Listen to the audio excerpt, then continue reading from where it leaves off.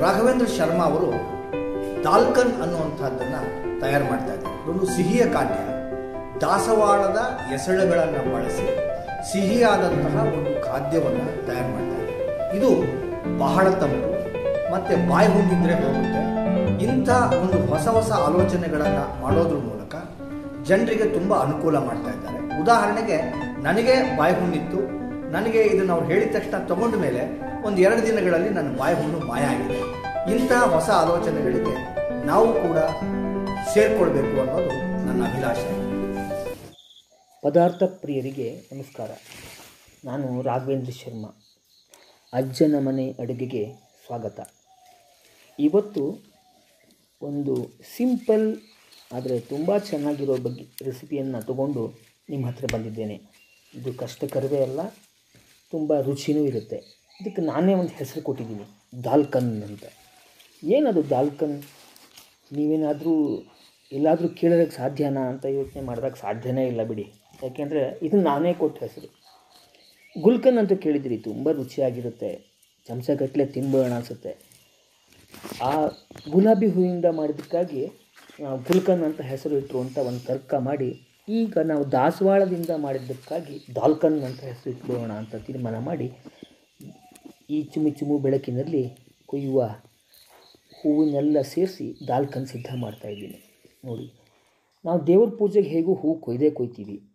ಈ ಥರ ಕೊಯ್ದು ಹೂವು ಒಂದು ದಿವಸದಲ್ಲಿ ತನ್ನ ಸೌಂದರ್ಯವನ್ನು ಕಳ್ಕೊಂಡು ತಿಪ್ಪೆ ಸೇರಿಬಿಡುತ್ತೆ.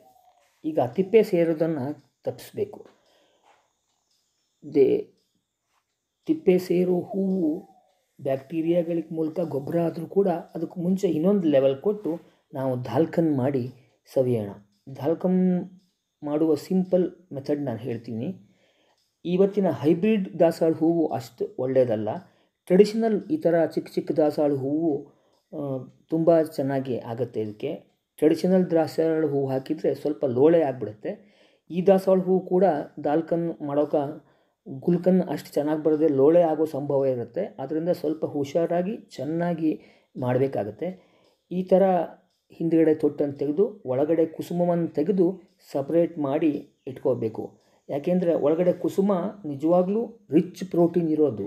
ಆದರೆ ಏನು ಸಮಸ್ಯೆ ಆಗುತ್ತೆ ಅಂತಂದರೆ ಆ ಕುಸುಮ ಒಂದು ಅರ್ಧ ಲೆವೆಲ್ ಮಾತ್ರ ಹಾಕ್ಬೋದು. ಇನ್ನು ಅರ್ಧ ಹಾಕಿದರೆ ಇದು ಲೋಳೆಯಾಗಿ ಬಾಯಿ ಒಳಗಡೆ ರುಚಿ ಏನೋ ಚೆನ್ನಾಗಿರುತ್ತೆ, ಆದರೆ ಲೋಳೆ ಬಹಳಷ್ಟು ಜನಕ್ಕೆ ಹಿಡಿಸದೇ ಇರೋ ಕಾರಣದಿಂದ, ಆ ಕುಸುಮವನ್ನು ಸಪ್ರೇಟ್ ಮಾಡಿ ಇಟ್ಕೋಬೇಕು ಆಮೇಲೆ ಅರ್ಧ ಮಾತ್ರ ಕಟ್ ಆಗಬೇಕು.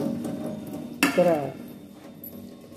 ಕಟ್ ಮಾಡಿದ ಹೂವನ್ನೆಲ್ಲ ಕ್ಲೀನಾಗಿ ತೊಳ್ ತೊಳ್ಕೊಂಡು ಒಂದು ಬಟ್ಟೆ ಮೇಲೆ ಹಾಸ್ಕೋಬೇಕು. ಈ ಬಟ್ಟೆ ಮೇಲೆ ಹಾಸ್ಕೊಂಡು ನೀವು ಕಾಲು ಗಂಟೆ ಬಿಟ್ಟರೂ ಒಳ್ಳೆಯದು ಒಣಗಿದ, ಆರಿದ ದಾಸವಾಳ ಪಕ, ಪಕಳೆಗಳು ಮಾತ್ರ ಚೆನ್ನಾಗಿ ಇರುತ್ತವೆ. ಇನ್ನು ಸಿಂಪಲ್ ಒಂದು ಲೋಟ ಸಕ್ಕರೆಗೆ ಒಂದು ಲೋ, ಮುಕ್ಕಾಲು ಲೋಟ ನೀರು ಹಾಕಿ ಈ ಥರ ಪಾಕ ಬರೋದನ್ನ ನೋಡ್ಕೊಬೇಕು. ಪಾಕ ಬರೋ ವಿಧಾನ ನಿಮ್ಗೆ ಗೊತ್ತಿದೆ, ಎರಡು ಕೈಯನ್ನು ಪಾಕ ಅದ್ದಿ ಅದು ಎಳೆದು ಬಂದರೆ ಈ ಥರ ಪಾಕ ಬರುತ್ತೆ. ಪಾಕ ಬಂದ ತಕ್ಷಣ ಹೂವನ್ಗಳನ್ನು ಹಾಕಿ ಆಮೇಲಿನ ಹೆಚ್ಚೊತ್ತು ಇಡೋದು ಬೇಡ.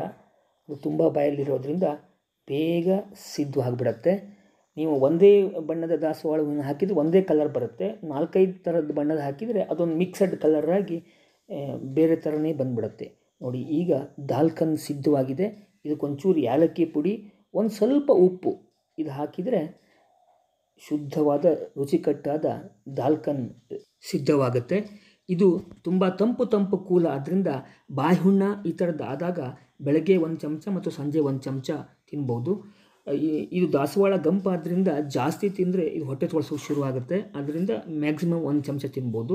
ಗುಲ್ಕನ್ ಕೂಡ ಅಷ್ಟೇ ಅದ್ರ ಜೊತೆಗೆ ದೋಸೆ, ರೊಟ್ಟಿ ಇಂಥದ್ದಕ್ಕೂ ಕೂಡ ಈ ದಾಲ್ಕನನ್ನು ಬಳಸಬಹುದು. ಆದರೆ ಜಾಸ್ತಿ ತಿನ್ನೋಂಗಿಲ್ಲ ಅಷ್ಟೇ.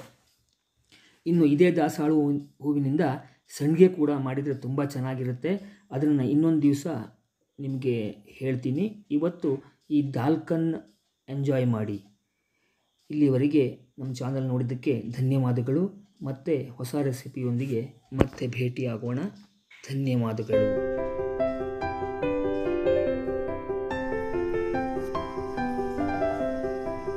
ತುಂಬ ಚೆನ್ನಾಗಿದೆ.